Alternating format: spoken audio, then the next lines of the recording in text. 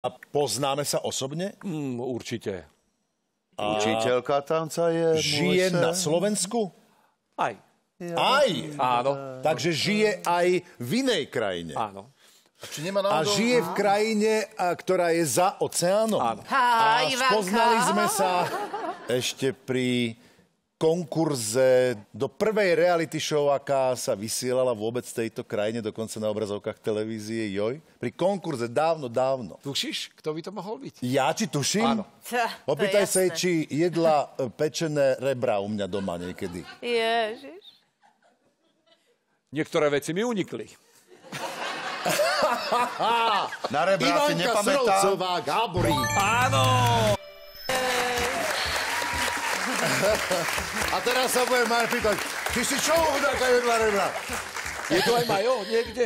Prišiel s tebou? Nie, nie, nie, moja ochranka ostala doma, chvala Bohu, ale musím Tak po, že môžeš To rozprávať o tom, to že čo si- bolo po tých rebrách. Nič, nie, poď. To je tajomstvo. To je tajomstvo. Ty, ale toto ma tak zaujíma, ja budem teraz normálne bulvárny až. No rebra za asi. rebrá, prosím ťa, ako si sa ty ocitla u hudáka doma? To Kto náhoda. bol u neho doma? Kto Náhoda. bol u doma? Ke, odkedy, dokedy si tam bola? Čo, prosím ťa, fakt ťa normálne nalákal na rebra? No, bohužiaľ. Ale tak ale Miško má krásne rebra. Vtedy ešte cvičil. Vtedy ešte cvičil. Kde sú potom moje motýle? Čo robím zle? Vládko, ty sa prebuď. Všetko je ináč. tak, to je silná, silná, silná zhoda okolností. toto Ivi, teda povedali sme už uh, nielen v priezvisku jedno meno, ale Gáborík Surovcová. Ja som teda len Nikomu Ivana Gáborík. neuniklo, hej. samozrejme. Len Gáborík, Len Gáborík. Ja som sa zbavila toho Surovcova, lebo tak eh, z detstva mám veľmi veľa narážok eh, od detí, takže som bola dosť často surová a tak, tak už som chcela sa toho zbaviť. Nedopečená, Tam som sa tešila, že už budem len Gáborík. Ako sa žije s hokejistom?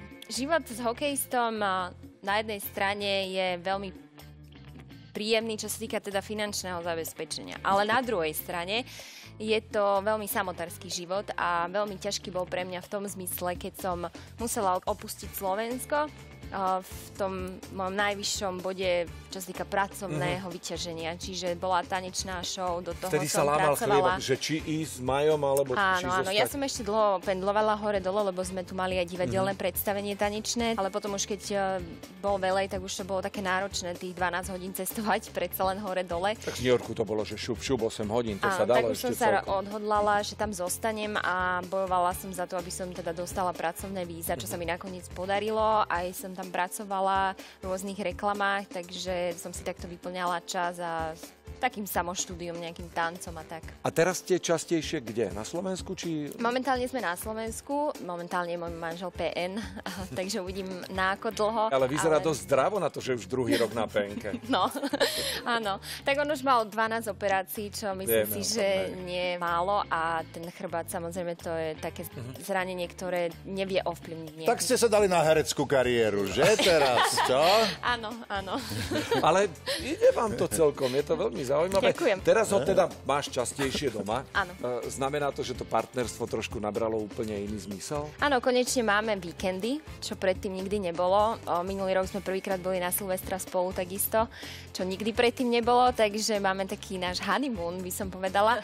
Ale celý ten týždeň ja som dosť pracovne vyťažená, pendlujem medzi firmou v Bratislave a Trenčinom, takže e, je toho dosť áno, už taký, že ja už nepracujem toľko, už, už pod domov, už, takže on, teraz je to opačne práve, že... Majko je samotárik teraz, už, už mu je Áno, smutno. áno, áno. Majo tu bol inak v inkognite, asi, Ja viem, asi vieš, áno. veľmi pekne o tebe rozprával.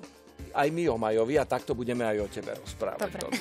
Dobre. Ivana Gáborík, Surovcová už nehovorí. Nie, nie, nie. Náš tajný host, ďakujeme veľmi pekne. Ivanka, pozdravuj, ďakujeme veľmi pekne, že ste si Ďakujem. našli čas, samozrejme aj vám, za sledovanie dnešného Inkognita. Želám vám krásny večer. Ak budete mať trošku času, sledujte nás aj na budúce.